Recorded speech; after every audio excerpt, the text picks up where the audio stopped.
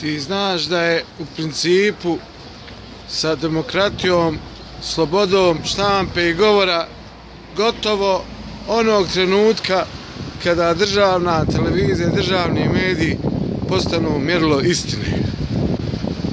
U tom momentu je gotova sva priča. Ako su državni mediji, mjerilo istine. Naši državni mediji koji sebe zovu javnim servisom, javnim servisom građana, kako li već zovu, će se moći zvat tako onog momenta kada partije prestanu stavljati ljude u upravne odbore, a kada u upravnim odborima budu zaslužni, počasni građani, ljudi iz struke i tako dalje i tako dalje.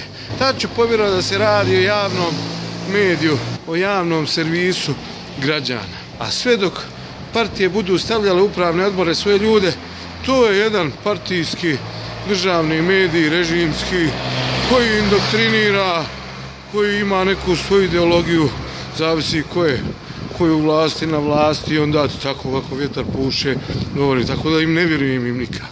Samo kad budu građani, građanski jedan bord, to se ja nekad zvao građanska kajla, kad građanski bord bude, dakle, kad upravni odbor bude ne partijski, kad bude građanski, e tad ću vjerovat da se radi o mediju koji je stvarno servis, javni servis građanima i koji nije mjesto gdje se tu neki biznisi prave profite stvaraju, ne znam šta, sve ispira mozak, ovo ono.